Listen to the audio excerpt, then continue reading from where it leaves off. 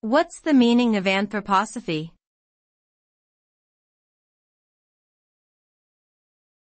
Anthroposophy.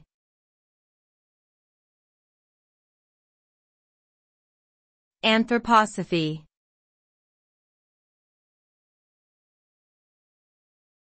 Anthroposophy.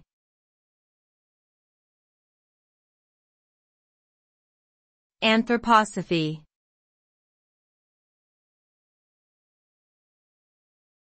Anthroposophy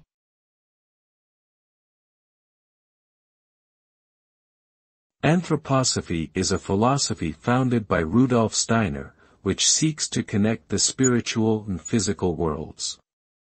Its followers believe that human beings possess a unique knowledge of the spiritual realm and can use this knowledge to gain a deeper understanding of the natural world.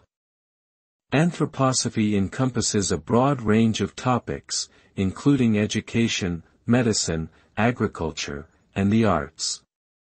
Overall, it aims to promote personal and societal growth through spiritual development and the pursuit of a holistic, integrated worldview.